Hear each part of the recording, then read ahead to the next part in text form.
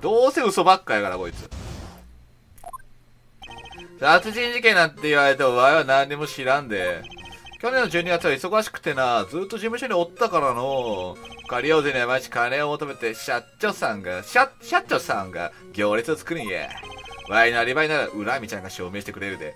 いいのか、ちゃん裏出して。ちゃん裏が裏切る可能性あるぞ。よう、ちゃん裏出せるな。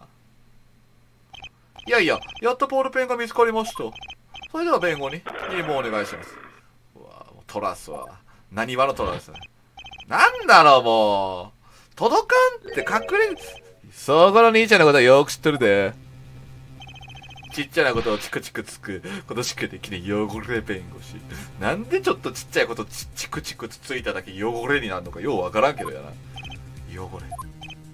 ええか？事件に関係ないことを聞こうとしたら、一回500万、うちから借りてもらうで。なんでよ、これさ。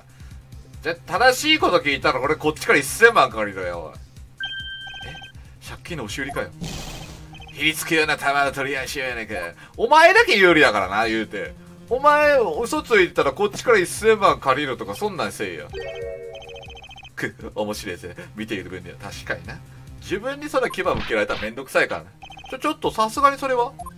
この証人はね、いわば都会のジャングルに放たれた腹ペコの虎。逆らうと、その自慢の頭噛まれちまうぜ。仕方ないですな。私のおからペナルティを与えましょう。なんでよなんでこいつ有利になってんのわいはこれから大事な取引があるに、そろそろバスに飛び乗る時間やで。タクシーに行けや。事件に関係のないサブリにペナルティを与えます。その、マジかよ。頑張れ、なるほどくん。オッケーです。じゃあ、事件に関係ないペナルティは、揺さぶりはダメってことね。はいはいはいはい。えー、っと、じゃあ、事件、わいは何も知らん。えっと、去年12月でなくてずっと事務所におったか。彼で毎日金を求めて社長さんが行列を作るか。暇だけどね、あなたがいるところは。基本的に暇なのだが。どうっすかねあー、借りようぜが暇。まあ、暇でしょう。暇なのは分かってるが。恨みちゃんが証言してくれるって言ってるんすけど、あー、じゃあ、裏、ちゃん裏が、ちゃん、あんまり、ここね、ここよね。ここを揺さぶります。ペナルティ食らうかもしんないけど、恨みちゃんというあの屍組の？ちゃん裏ね。せやで。怖いで、あそこの組長さんは。さ、組長じゃなくて、ちゃん裏のこと聞いてんやけどな。あんたが恨みちゃんを疑ってるとしたら、組長の、にされるで。お前がね？自分がね？あ、お前、恨みちゃんの悪口言ってんのこっち聞いてたからやな。あの、語尾はよく聞こえなかったんですけど、うん、知らない方がいいよ。ちょっと恨みさん風だったね、今の。確かに。今は彼女のことを聞く時ではない気がするけど。あ、こういうことか。やめとくか。あ、こういうことっすね。じゃあ一応揺さぶって、揺さぶるのはいいわけね。オッケーオッケー。ワイル次回高いよ、分かってる。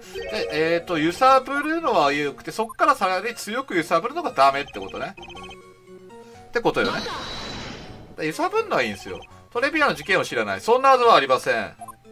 ほっほー、おもろいこと言うてくれんな。わいはそのケチな事件に関係してる言うつもりなら、証拠見せんかいうら証拠ですか？法廷で発言力を持つのは証拠だけ。リモシーズ弁護士になのにそう書いてやったで。入門やろ。王将になかなか勉強家ですな。く、弁護を頼んだらどうだ、まるほど。ちょっと待ってね。うん。一応、あのね、一応ね、これがあんね。これがあるから、絶対そういうのはないってことなんですが、まあまあまあまあ、全部見てからにするか。とりあえず、全部揺さぶってからっすね。多分、まああの揺さぶりをかけてもう一回踏み込まなかったら全然大丈夫ですね。こうよね。1ヶ月前のことですよ。間違いありませんか？うちにはな凄腕の秘書がいるんや。凄腕。チャウラね。ワイナスキル帳にしっかり書かれとったわ。12月おおむね事務所ってな。暇や。んめっちゃ暇や。んギヌロ。ギヌロって。ギヌロって。問題事件が起こった日なんだけどどうするか。まあちょっと待ってくださいね。一応全部言ってからやね。これ最初からになるのがめんどいですけどね。ここは言ったここも聞いた。借り上げの毎日金を求め社長さん行列を作る。そんなに客が来るものなんですか？闇金融って。興味小さな会社は経営が苦しいからの。まあね。まあそんな社社長さんたちの温かい味方なんや。ほうほう。それは関心ですの？三日坊主。それが借り寄せのモットーやからなあ言うてましたね、ま、3日で丸裸ね三日坊主それはどういう意味ですか？捕まえた結果3日で丸坊主でむしりということや確かにつまりその兄ちゃんのギザギザ頭あと3日したらああ、なるってことディスりまくりっすわ。ひげが立派だからなかなかいいと思うけど。僕お客じゃないんですけど。彼女のこともっと聞いてみるか。そうね。ここは行ってもいい気がするんですよね。ここは行きましょう。商人何じいそんなあのー、よろしかったらもう少し詳しく証言を。無用な揺さぶりは不要。約束させまるほど。ええー、くー無駄なペナルティを食らいましたわ。やりにくいな証拠があるか。じゃあ、やっぱりそうっすね。カリオでのバッジがあそこ、あの、トレビアンのがあったから、ここよね。だってずっと事務所におったここよねじゃあここで事務所にあのー、マッチが落ちてるのがおかしいってことよねことっすよねギヌロね事件が起こった日事件が起こった日かああ、そうか。事件が起こった日は12月3日に岡隆夫に会うことになってるから、これか。ここね。ここですわ。行こう。証人ジェイあのー、よろしかったらもう少し詳しく証言いやいやいや、待てやそう、意義ありだよ。待てや。しかし、事件当日のアリバイははっきりさせるべきです。私もそう思いますよ。被害者が殺害された12月3日、この日も事務所に？当たり前や一分も出てないで。よう言うわ。事務所で、社長さんの相手をしとったんや。そんなことを知らんで。よう言うな。今の証言は早速に重要ですな。あの、後藤検事お願いします。証人、今のは次の証言に付け加えてくれ。ふん。自分で言えよ。確かにね。これよね。ここで、岡隆夫のカレンダーが間違ってるって言われたら終わりですけどね。これ。ゼニトラさん。あなたは知らないと言っていますが、岡隆夫の方はあなたを知っていた。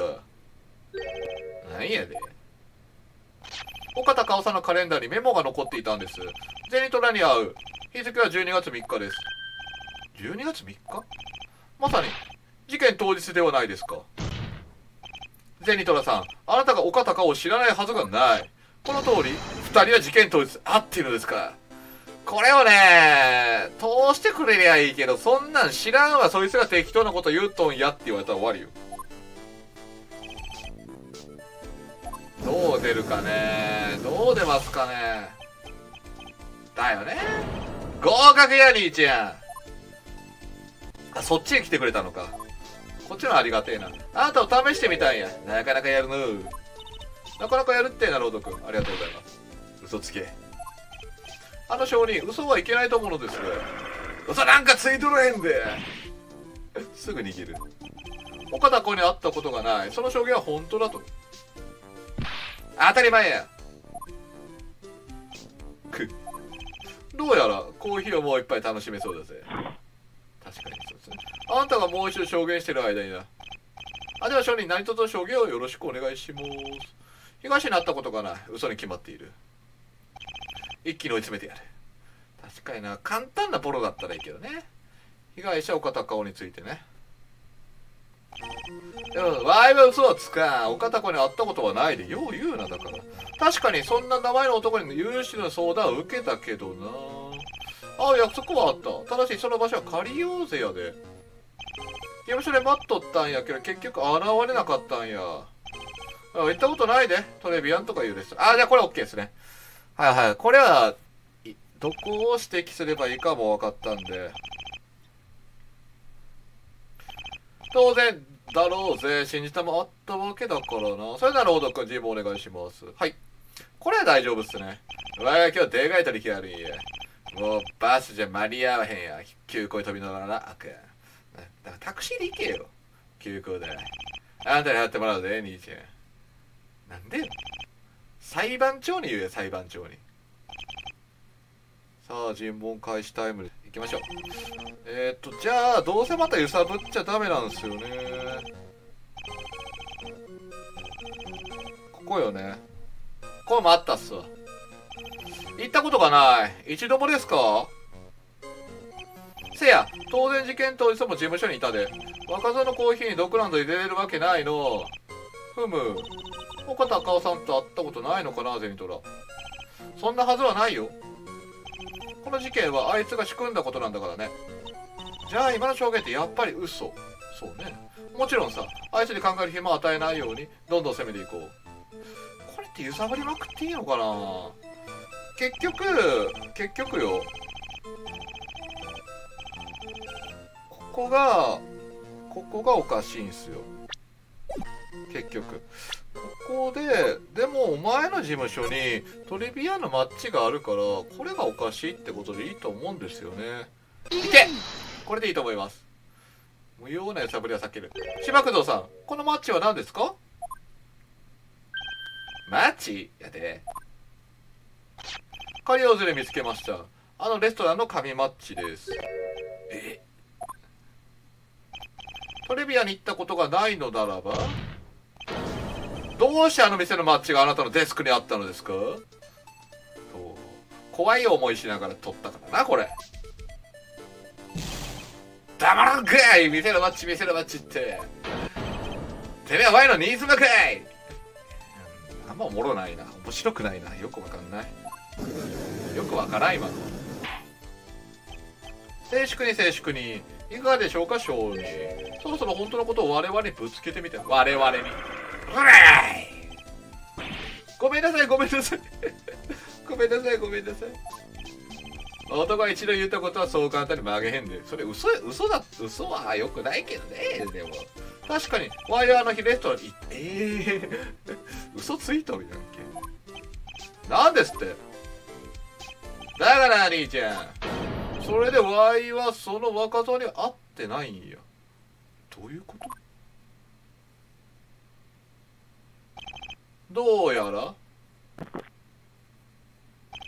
もう一度おしゃべりをした方がいいみたいだぜ。もうさ、うん、あと一歩何としても認めさせる。あいつはあの日岡高にあってそして毒を入れたんだ。被害者のコーヒー。コーヒーに入れたのはちゃん裏の可能性あるけどね。